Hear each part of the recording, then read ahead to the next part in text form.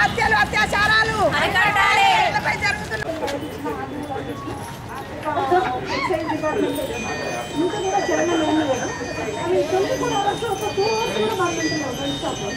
అంటే మా ఇంటి మాత్రం కాదు ఎందుకంటే బెల్ షాపులు మూసేస్తేనే చాలా హ్యాపీ సంపూర్ణ మద్యపాన నిషేధం చేసి ఇంకా మీకు అందరికీ మీ ద్వారా ఎందుకంటే మీ ద్వారా ప్రభుత్వానికి మేము విజ్ఞప్తి చేస్తూ ఉంటాం కానీ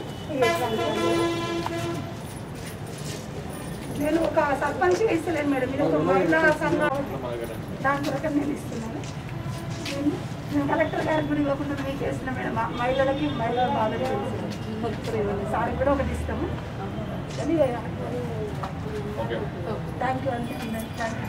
తెలంగాణ రాష్ట్రం యావత్తు అందరూ అందరూ గమనించారు.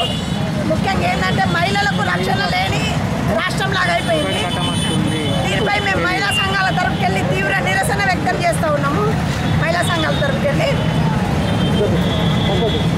మొన్న మొన్న మూడు రోజుల నా- వారం రోజుల కింద జరిగిన చైత్ర హత్య కానీ మానభంగం కానీ మొన్న మన మన జిల్లాల ముత్తునూరు గ్రామంలో ఒక జరిగిన చిన్న మైనర్ బాలికపై రేపు కానీ మొన్న ఒక మరియమ్మ లాకప్డెత్ కానీ ఇలాంటి సంఘటనలు మహిళల మీద తీవ్రంగా మీరు మహిళలను తీవ్రంగా అణిచివేస్తున్నారు మరి ఈ కరోనా టైంలో ఎక్కడ పని దొరకని టైంలలో మహిళలు ఎక్కడన్నా పనికి వెళ్తే వారికి రక్షణ లేను మరి అలాగే ఇంకొకటి ఏంటంటే ఎవరైనా పిల్లలను ఇంట్లో ఇడిచిపెట్టే తల్లులు ఈరోజు బయట పోలేని పరిస్థితి ఎందువలన అంటే ముఖ్యంగా ఇది ఎక్కడైతుంది ప్రాబ్లం అంటే గ్రామాలలో బెల్ట్ షాపులు ట్వంటీ ఫోర్ అవర్స్ నడుస్తున్నాయి కాబట్టి ఆ బెల్ట్ షాపులను మీరు మూసివేయాలా సంపూర్ణ మద్యపాన నిషేధం చేయాలని చెప్పి మహిళా సంఘాల తరఫున నేను విజ్ఞప్తి చేస్తున్నాం ఎందుకంటే అన్నిటికీ కారణం మద్యపాన నిషేధంతోనే ఎక్కువ సంఘటనలు జరుగుతున్నాయి కాబట్టి వాటిని మేము తీవ్రంగా ముఖ్యమంత్రి గారికి మీ ద్వారా నేను ఎన్నోసార్లు రిప్రజెంటేషన్ ప్రజావాళ్ళు ఇవ్వడం జరిగింది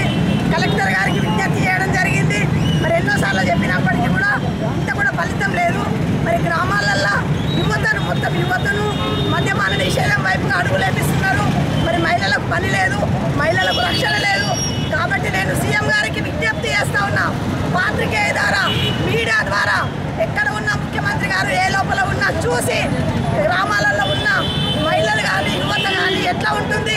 ఆలోచన చేయాలని చెప్పి నేను మీ ద్వారా విజ్ఞప్తి చేస్తూ ఉన్నాను. మరి ముఖ్యంగా మహిళలకు పని కల్పించాలా?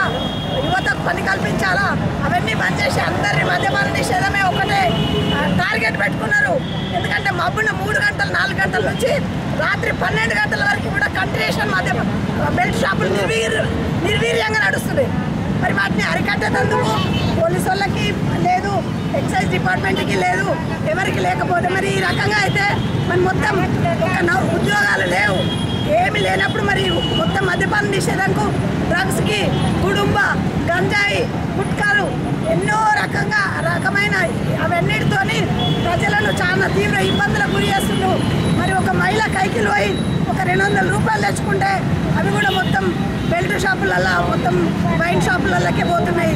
కానీ వాళ్ళ కుటుంబాన్ని నడిపించుకుంటేందుకు ఒక పది రూపాయలు కూడా మిగులుతలేవు మరి మీరు గ్రామాలను బంగారు తెలంగాణ చేస్తా అని చెప్పి మరి మొత్తం మద్యపాన నిషేధం ఏర్లై పారేటట్టు చేస్తే ఇది కరెక్ట్ కాదు అని చెప్పి నేను ద్వారా విజ్ఞప్తి చేస్తూ ఉన్నా.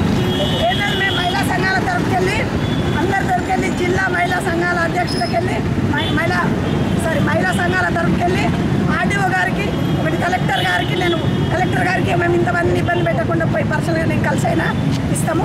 ఇక్కడ ఆర్డీఓ గారికి మహిళ కాబట్టి ఆర్డీఓ గారికి నేను వారి వారి ద్వారా ప్రభుత్వానికి విజ్ఞప్తి చేయాలనుకుంటున్నాను